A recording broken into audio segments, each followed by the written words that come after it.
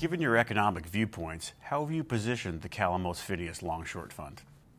I think the main message is that although uncertainty is high today, uh, risk is actually relatively low.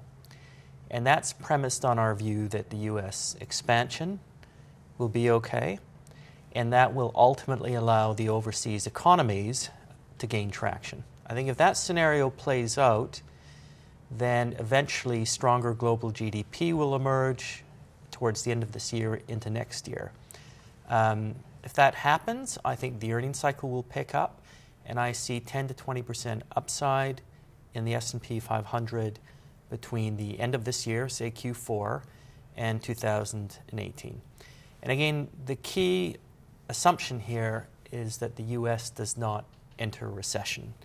Um, we aren't seeing any of the traditional evidence for that, and in fact, beneath the surface, uh, most of the trends look perfectly okay. So, again, it goes back to this point that uncertainty is different than a negative outcome. Investors right now are perplexed by the uncertainty, but if you step back and look at the broad fundamentals, we're going to be okay.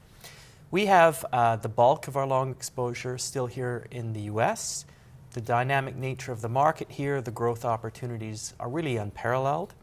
Uh, we have about 20% of the portfolio in Europe. And again, this is consistent with the idea that Europe is entering, believe it or not, is entering a gradual upturn, and similar to where the US was three years ago.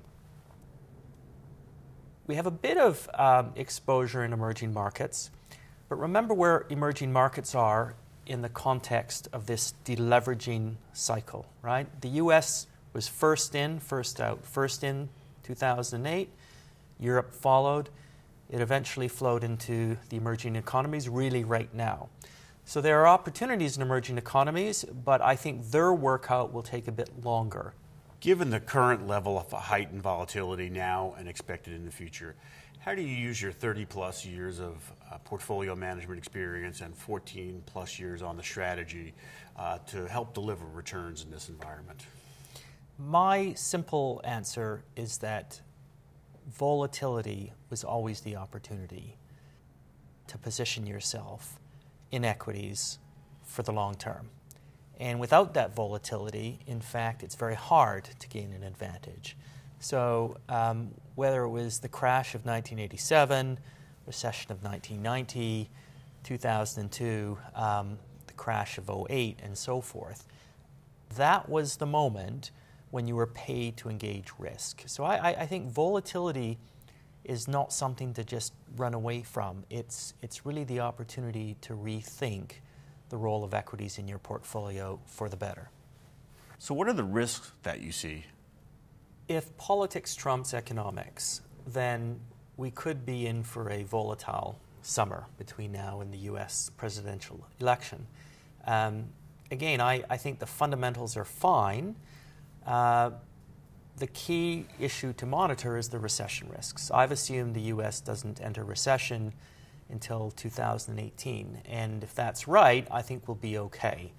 Probably the biggest risk is not that we slip into deflation or recession, it's that investors are overpaying for the safety stocks. So, after so many years of turmoil, um, investors have gravitated to asset classes uh, for defensive characteristics. And a good example of this is consumer staples or healthcare, where there's very little long term growth potential, but the stocks are extremely highly valued. And that's dangerous. You know, you can overpay for a stock, you can mistime your entry on a stock, but if the earnings potential unfolds, time is in your favor.